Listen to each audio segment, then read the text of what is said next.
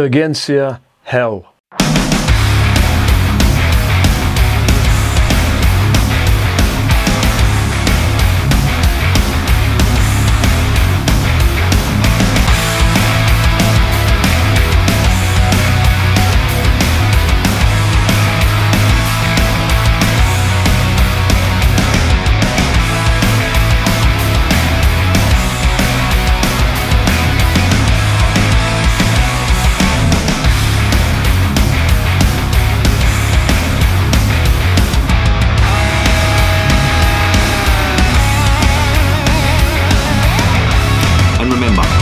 To be drinking shitty beer.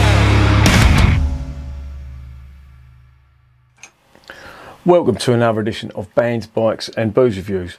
I have got one here that I reviewed a while back and like the sap that I am, I deleted it. So I've got to review it all over again. But I do remember it being a really good beer. Now I remember I reviewed the Dunkel from them, which is on the channel if you want to have a look at that. That was really good and I tried one of these not so long ago. I don't think I've put the review of, it up yet, have I? I think it was the Pils. I don't think I've put it up yet. That was really good. Typical German Pilsner. Nice bitter finish with all the, or not, spicy finish, not a bitter finish, a spicy finish with all the, the nice noble hops that are on there. And I was browsing Noble Green the other day and I picked one of these up. They had these for sale and they had it quite cheap, so I thought I'll give it a go. It was under £3, which ain't bad for a quality beer that I think is rather good from what I remember. This, of course, is the Hell, they call it Hell, Helles, same thing. It's a lager, basically. And um, it's it's one of them ones where I do remember tasting it and thinking this could only have come from Bavaria. It's got all the characteristics of a really good hell. Now I was looking on, I think it was Beer Hawk, and they said this comes from the same brewery as Augustiner. It doesn't. That is complete and utter crap. It's got.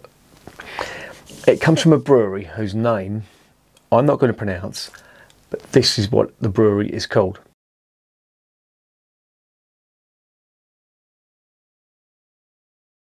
Now it can trace its, its um, origins back to a monastery, and the monastery was founded, so they say, in 1050. However, that's disputed.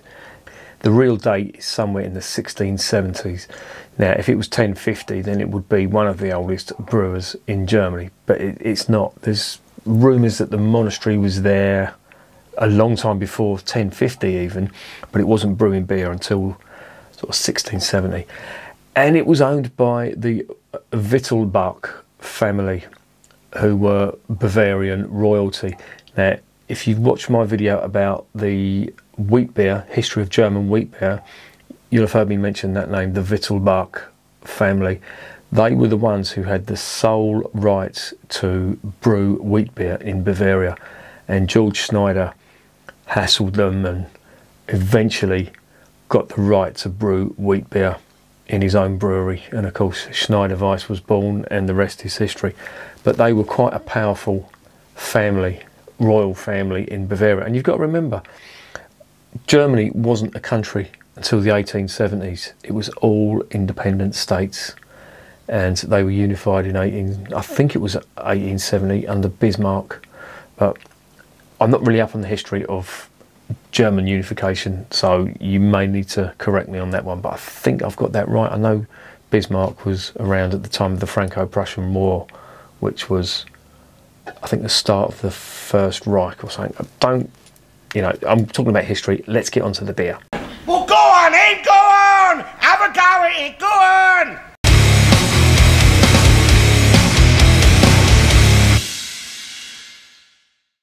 This is a Bavarian Hell. They call it Hell, Helles. Same thing, just means light or light beer.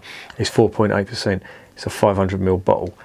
If you look at the the blue checkered design on the front, that just says Bavaria, and that is the coat of arms of the House of Wittelsbach, who were the, the big Bavarian royal family during the uh, 17 and 1800s, and I still think there's some connection there now. They're all over good German beer, and even on the uh, European protected status, that symbol is used. And of course, Bayern Munich, the football team, use it as well. So that is synonymous with Bavaria. Uh, I'm going to be drinking out of one of these. Now, this is a Pilsner glass. I managed to find this on eBay. It's an ABK, another Bavarian beer brewer, and this is a Pilsner glass. It's quite a popular style of Pilsner glass, and the reason I like it is because it's a pint. Now, it's so easy to get a, a litre stein and drink it out of there, but I don't like drinking out of litre steins for, for two reasons. One, if you pour a 500ml bottle in there, it looks like it's a quarter full or half full. And two, if you do fill it up to the top, when you're drinking out of a stein, I find but by the time you get to the bottom, the beer's warmed up a hell of a lot and it doesn't stay that fresh. I think in one of these is just the right size. And of course, Kölsch, if you're familiar with the flavour, that's served in 25 centilitre glasses. And the reason for that is is because they want to keep it as cool as possible, as fresh as possible, and you know it takes no time at all to drink 25 centilitres if you're a seasoned drinker. And of course, if you're filling it up all the time, you're just getting fresh beer, nice fresh cold beer all the time. Birds love it. Anyway, more on that later. Let's get this beer open and checked out.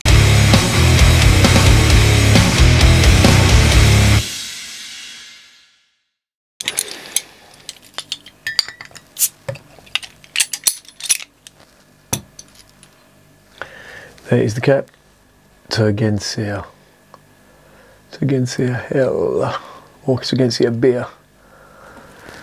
It it looks absolutely amazing. The, the actual place. It's a reason in Germany. It's um, it's a resort, and I'm looking it up online. I was looking checking it out earlier, and it looks absolutely amazing. And I'm seriously considering taking the missus over there for the honeymoon. She wants to go to Hawaii. I want to go to Germany. Why do you think I want to go to Germany? I think I'm going to win. Not. Anyway, let's get into the glass. Now, there's nothing on the brew sheet at all about this. It's really hard to find information, reliable information about this beer, but coming from Bavaria, I'm sure they've been using Hallertau hops in this and it's going to give you all of that lovely German noble hop flavour. Now there it is in the glass, fair bit of carbonation, one finger white head, tightly packed, white head on the nose. Oh, it smells lovely. It's a mixture of sweet, nutty Bavarian Munich malt and a lovely bit of lemon citrus and that spice, that black pepper spice that is synonymous with Hallertau hops. Some grassy notes there as well, herbal grassy notes. It just smells clean though, and you know, I don't know what it is. The combination of everything just makes the water smell really clean. Now I know they do use soft water in all their beers, unlike British brewers who like to season their beers with, well, season the water with sulphur, high calcium and sulphur, and uh, of course that goes well for dark beers, but for lager you cannot beat clear spring water, as the Germans know all too well. There is in the glass, it looks lovely, golden colour.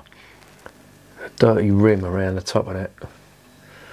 Bloody dishwasher. Anyway, let's get it down the hatch.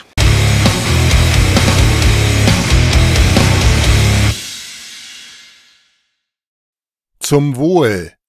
as they say in Germany.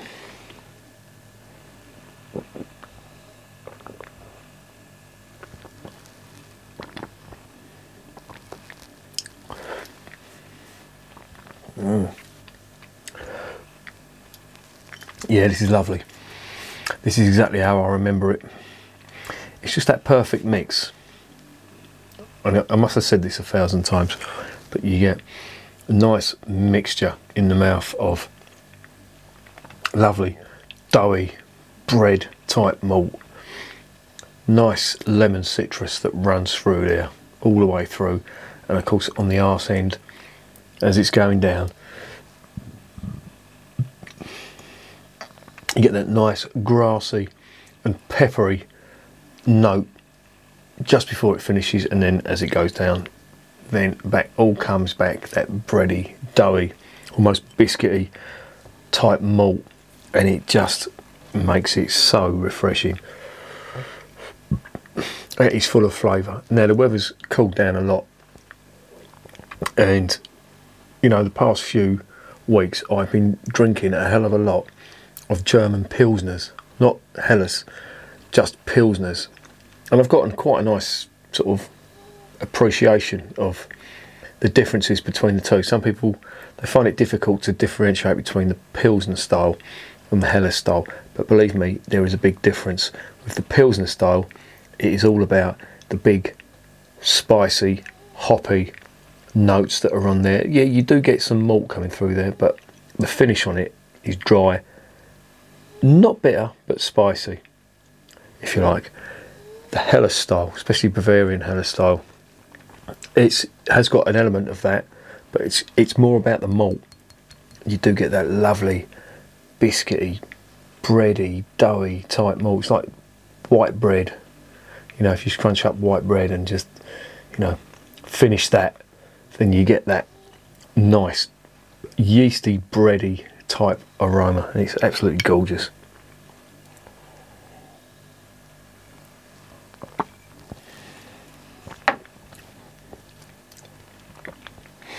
That's really nice.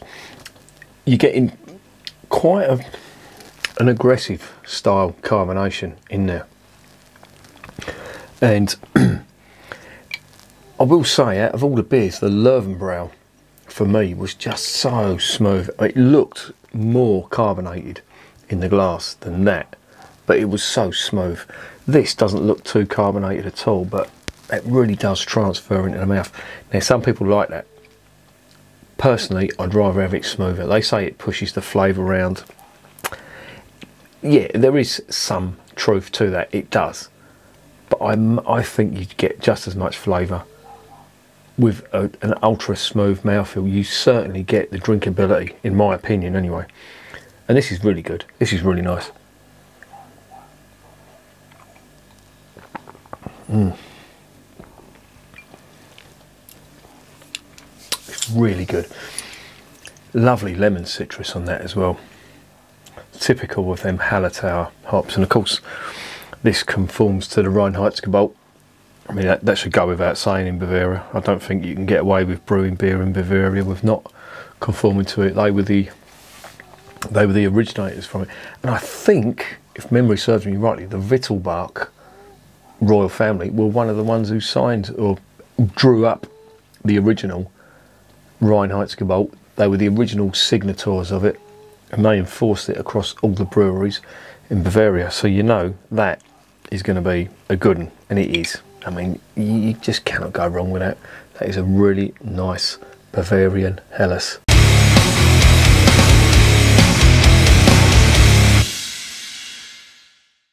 So what's the verdict on this? Well, yeah, it's it's just brilliant.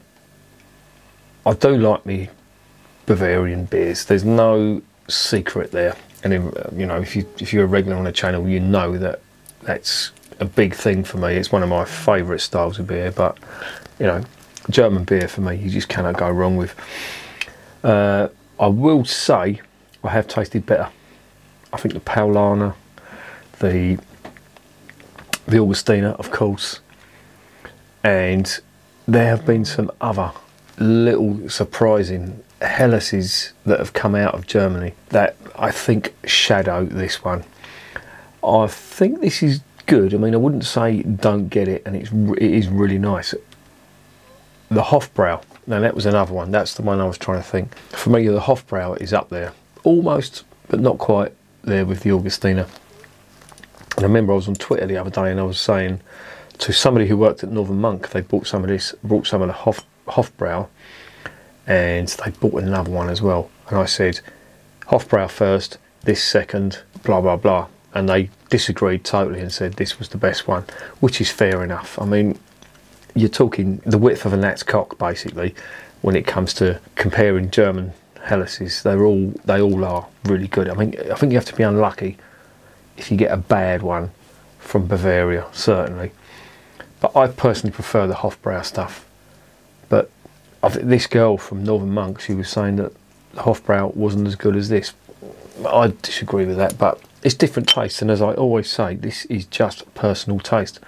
This is not a definitive guide. There is no, it's like music.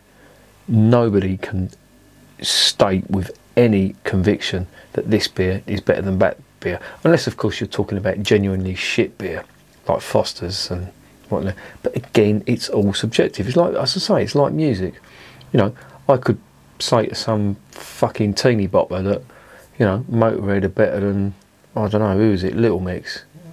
And she could argue that they're better. I could argue that Motorhead are better. But nobody would win because it's all subjective. It is not a competition. It's about what you like at the end of the day. And what I do is just try to give you my opinion. That's all you're doing, really, is looking at my opinion. And you know, you respect people's opinions, you don't respect other people's opinions. So that's what it's all about, basically. Or is that the okey cokey? I think the okey cokey is what it's all about. But anyway, talking bollocks as usual. I am going to give this a 7 out of 10. No, I'm not. I'm going to give this a 9 out of 10. And I'm definitely going to recommend it there's no two ways about it. This is a fantastic beer.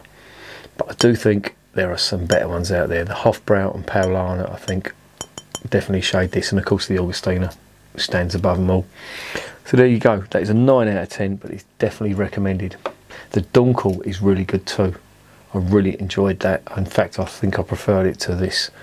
But I always prefer Dunkels. I prefer Dunkel Weiss beers. I prefer Dunkel beers if you like, just because of that lovely caramel malt. But that's just me. And remember, beer is working class champagne.